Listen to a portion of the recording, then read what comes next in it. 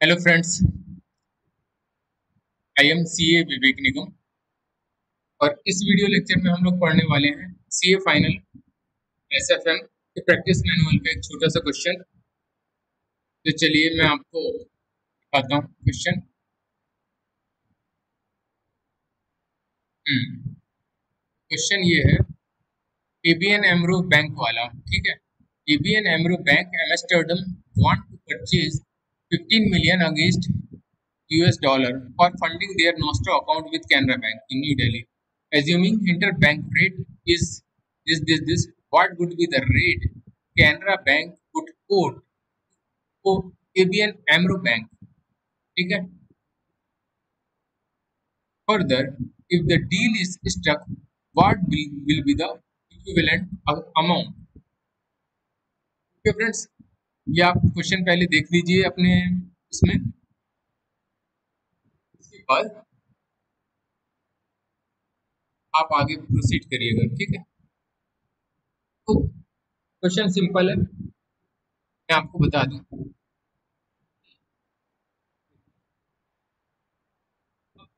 ABN AMRO bank है एमस्टर Amsterdam है, जो भी है, नाम में आप मत जाइए, नाम कुछ भी हो सकता है। तो देखिए मैं यही आपको ड्रॉ कर दूँ तो ज़्यादा सही है। ठीक है? एबीएन एमरो बैंक जो है, आप यानी ये बैंक है एबीएन ठीक है? इसको पे करना है। It want to purchase 15 million against for funding their nostro account Canara bank ठीक है? इसको किसी चीज़ के लिए चाहिए है, देना है कितना? Fifteen million fifteen million rupees देना है।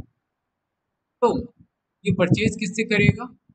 ये परचेज करेगा इंटर बैंक से, क्योंकि इंटर बैंक रेट ही हमें दिए हुए है, ये देखिए।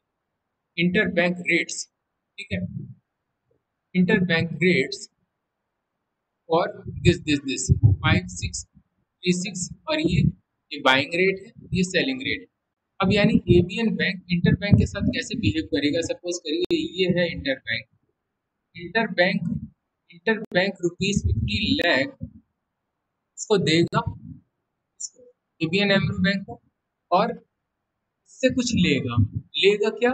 डॉलर लेगा। क्योंकि डॉलर के ही टर्म्स में दिया है रेट्स तो डॉलर लेगा इंटर बैंक ये डॉलर किससे लेगा?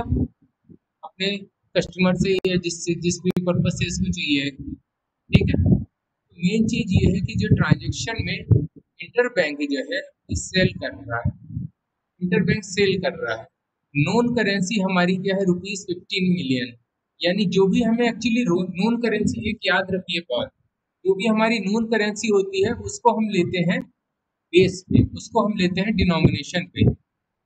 ठीक है? तो हमको ऐसा रेट पता करना है जिसके बेस में रुपीज़ आए और ऊपर में क्या है? डॉलर डॉलर पर रुपीज़ का रेट हमें पता करना है। डॉलर पर रुपीज़ का। अब देखिए डॉलर पर रुपीज़ का रेट दिया हुआ है क्या? दिया हुआ है क्या? नहीं, ये तो रुपीज़ पर डॉलर का रेट दिया हुआ है।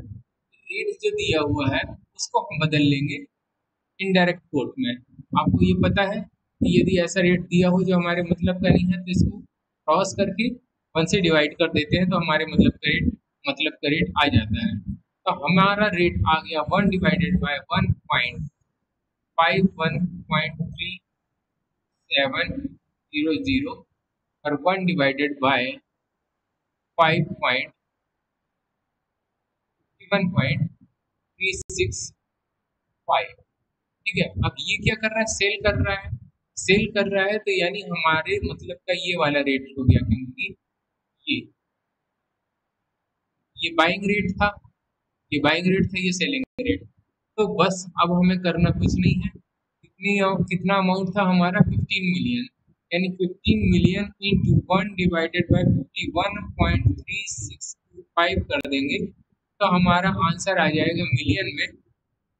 यानी कि हमें हमें 15 मिलियन के बदले इंटर बैंक को कितने यूएस डॉलर देने पड़ेंगे? जैसा कि इसमें लिखा हुआ है हमें देने पड़ेंगे two nine zero five zero. इतने डॉलर देने पड़ेंगे। ठीक है फ्रेंड्स? बस इतना सा कैलकुलेशन था और इसमें कुछ करना नहीं था फ्रेंड्स। ठीक है? आगे हम लोग बाकी चीज़ बात करेंगे बात के लेक्चर में। बस सिंपल सी बात आप ये दिमाग में रखिए कि इंटर बैंक से ये इस बैंक का ट्रांजेक्शन हो रहा था। ठीक है? और इंटर बैंक इस बैंक को बेच रहा था, इसलिए इंटर बैंक का सेलिंग रेट हमने लिया, ठीक है? रेट हमेशा ये आप ध्यान रखिए, उसी करेंसी का लेते हैं, जिसका अमाउंट नोन होता है। जिस करेंसी का अमाउंट नोन होता है, उसी करेंसी का डायरेक्ट कोट लेते हैं, ठीक है? बस देख लेते हैं कि वो करेंसी का डायरेक्ट कोट तो हमने लिया है, वो बाय की जा रही है या सेल की जा रही है, ठीक है? बाय की जा रही हो तो बाइंग रेट ले लेते हैं और सेल की जा रही हो सेलिंग रेट ले लेते हैं okay thank you all the best Please like the video and subscribe my channel. Thanks all.